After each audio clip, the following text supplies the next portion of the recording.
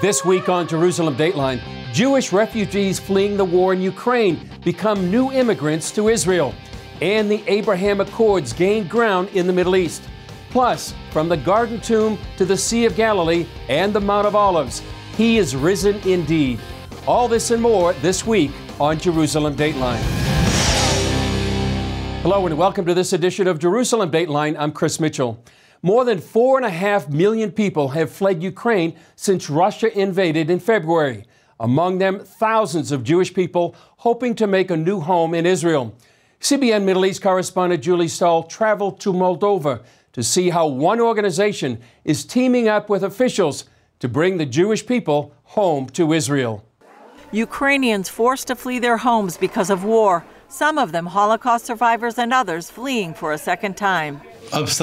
You can imagine the atmosphere, nervous tension, and an unpredictable destiny. What can one expect other than being murdered?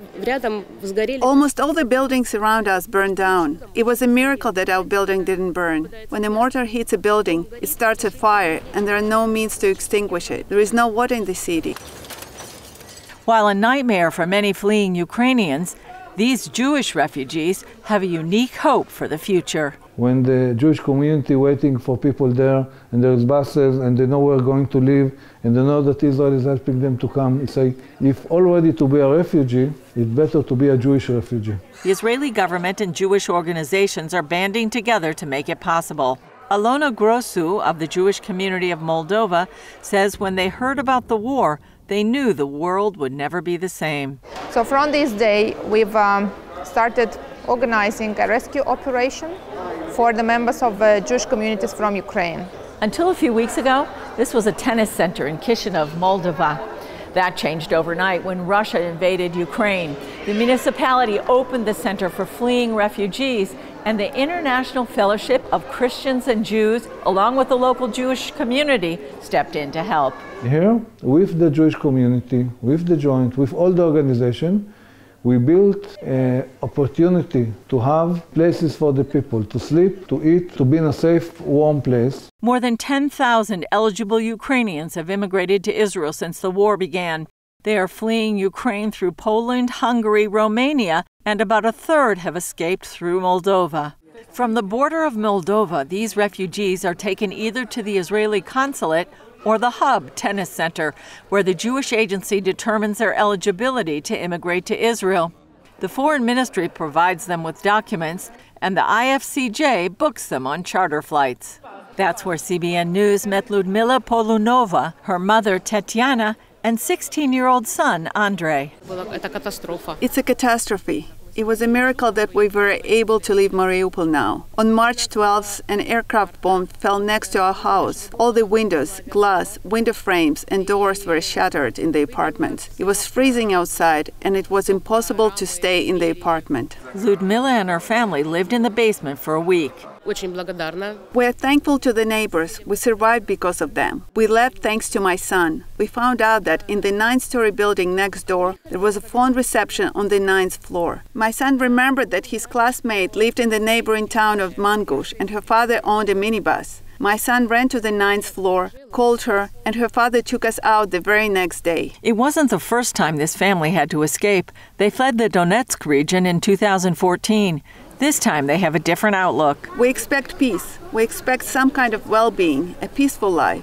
We were kicked out of Donetsk, kicked out of Mariupol, and now I simply don't know what to do. I want a future for my son. I hope everything will go well in Israel, that this whole thing will be over.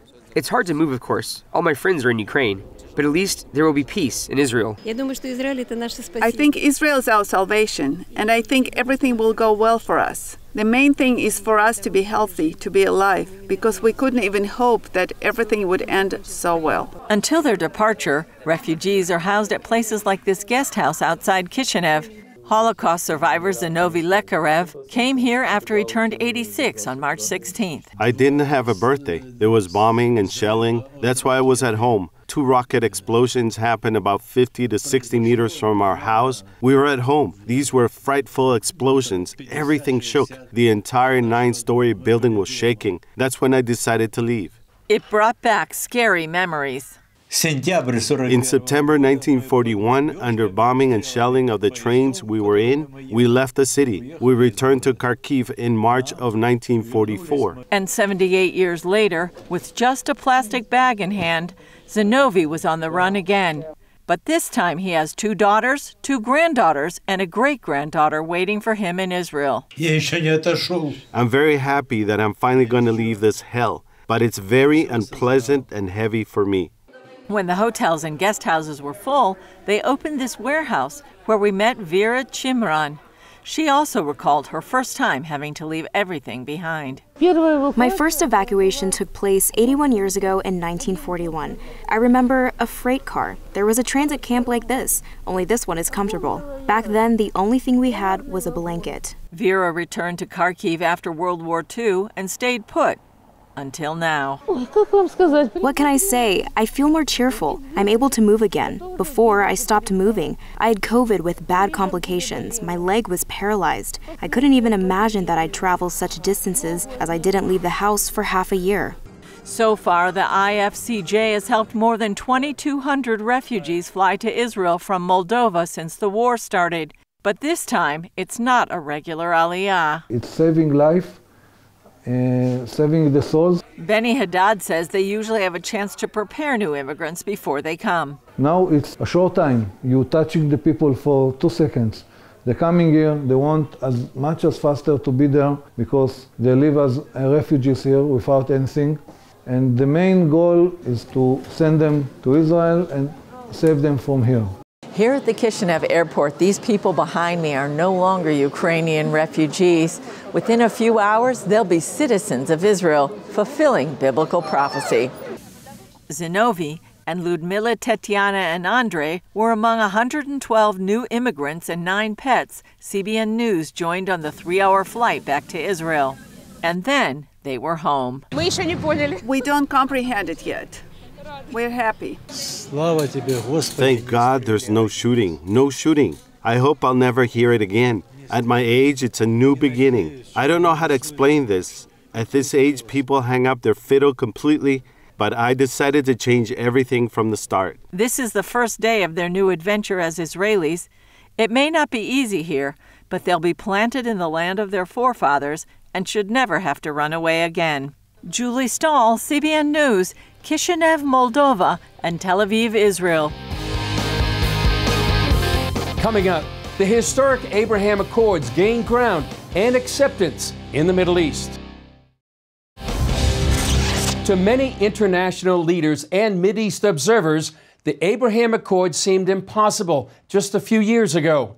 But the historic peace agreements are gaining more acceptance and regional support. This group of international diplomats are getting an up close look at Jerusalem's Western Wall and Temple Mount.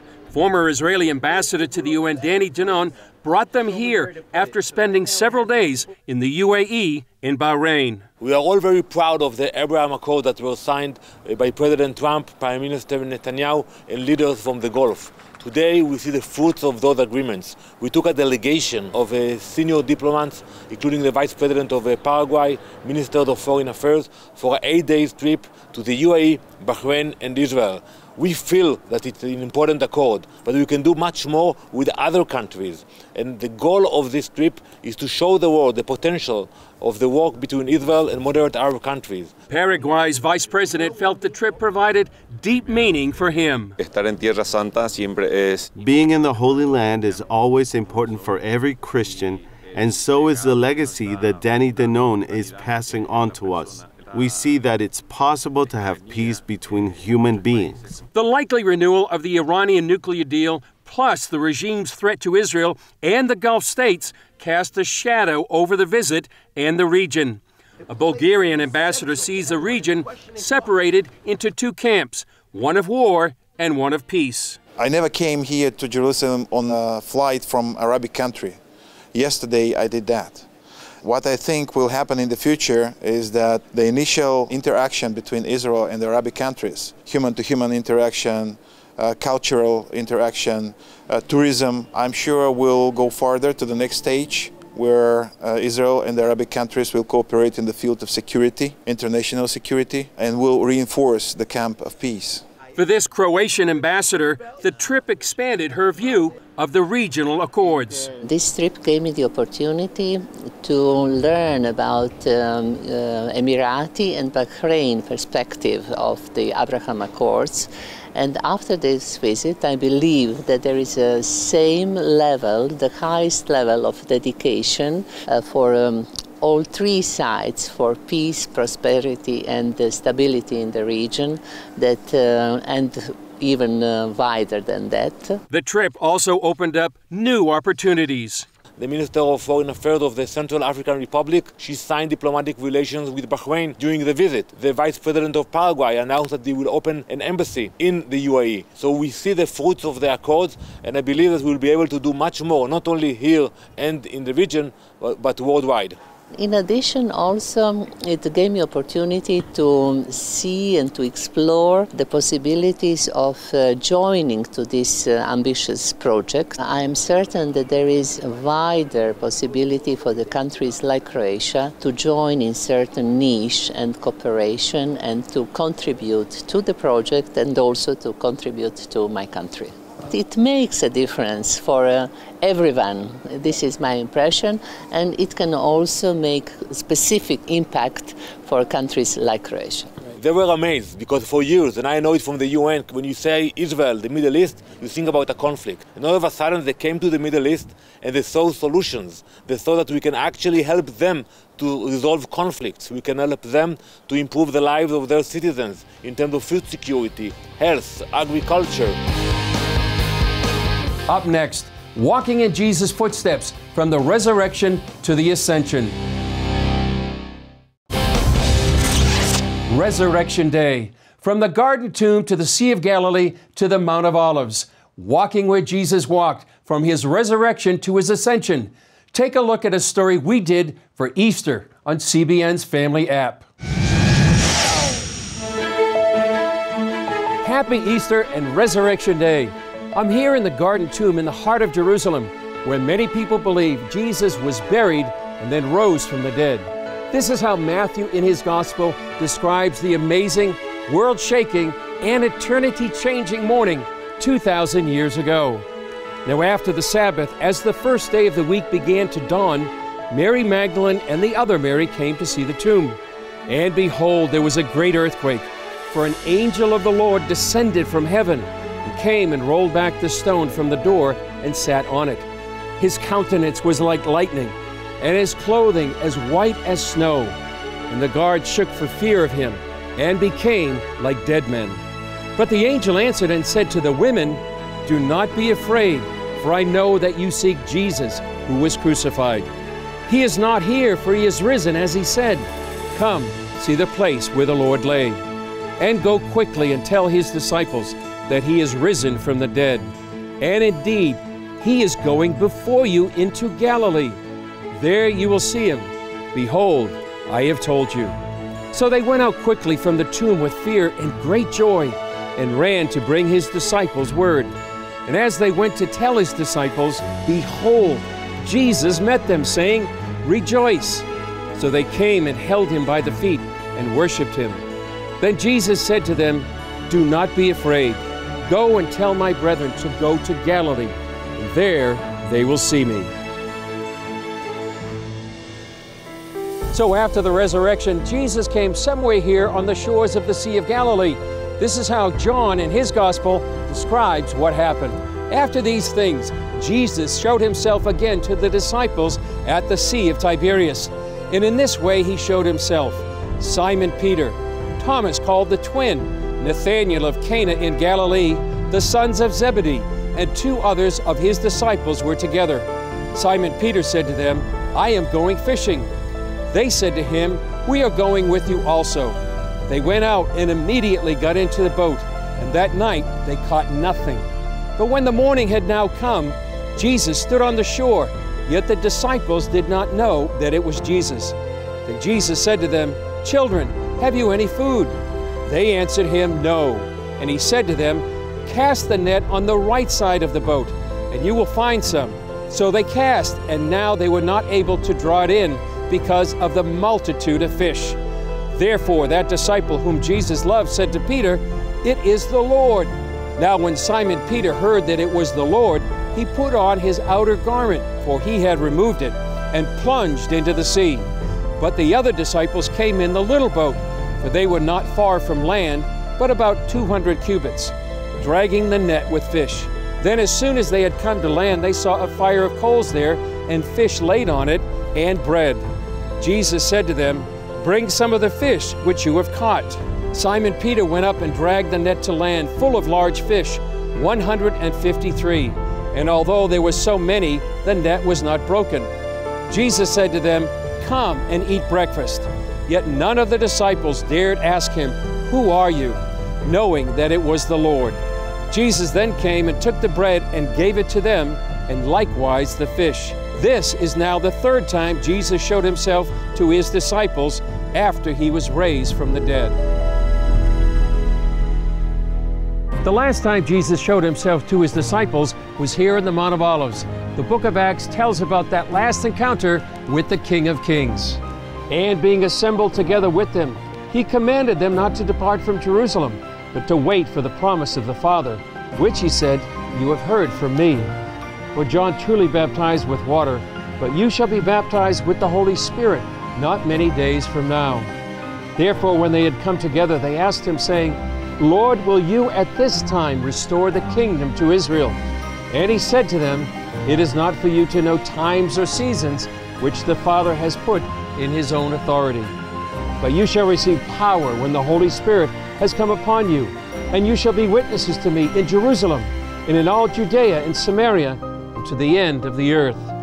Now, when he had spoken these things, while they watched, he was taken up, and a cloud received him out of their sight. And while they looked steadfastly toward heaven as he went up, behold, two men stood by them in white apparel, who also said, Men of Galilee, why do you stand gazing up into heaven?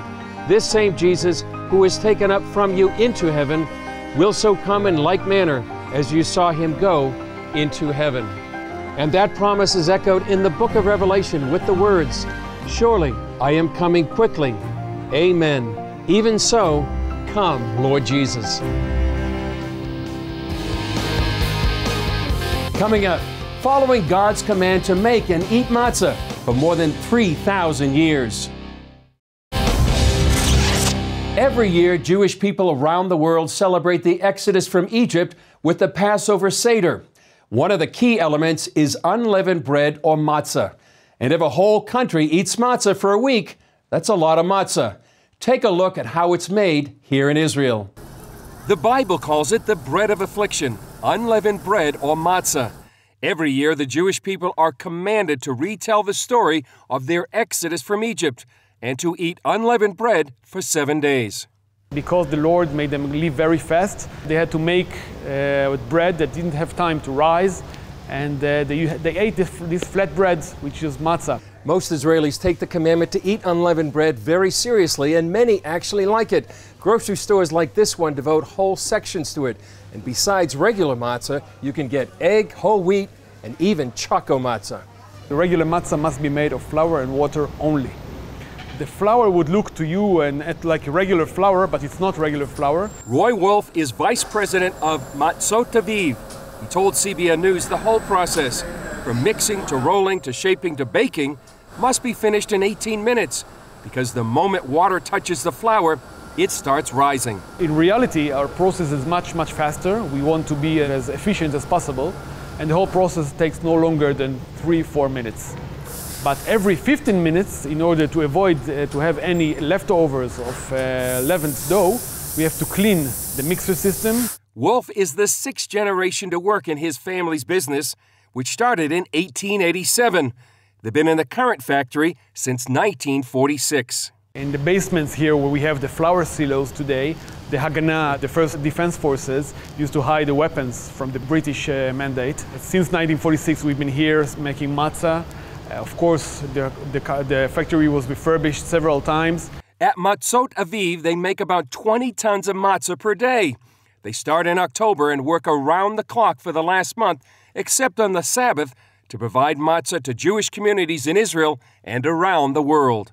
We are exporting uh, to over 35 countries, to all Jewish communities uh, around, the, around the world. from the large communities in North America to even the smallest community. There's one person that's in Wallis Island. He's the doctor of the island, and we are sending him matzah every year. And so he will, have, he will be able to have a, a Seder with, with matzah from Israel. But we also have Christian communities buying matzah in countries like Korea and Singapore, where it's, uh, I, I, the, uh, I've been told that in some churches it's been used as the, the holy bread. The Last Supper would have been a Passover Seder with unleavened bread. Because of that, many Christians like to take communion with matzah. Some even say that the design of the matzah, striped and pierced, is symbolic of the Messiah himself. You might think with all this matzah making that the Wolf family would get tired of Passover, but not so. We're waiting for the Seder. We usually come very tired to the Seder because I'm working until the, the same day in the afternoon. But uh, it means a lot. This holiday, of course, means a lot to us. One Israeli compared matzah to a data drive passing along information from generation to generation. Well, that's all for this edition of Jerusalem Dateline. Thanks for joining us. To all of our Jewish friends, we wish you Pesach Sameach, Happy Passover. And for our Christian friends, we say Happy Resurrection Day. I'm Chris Mitchell. We'll see you next time on Jerusalem Dateline.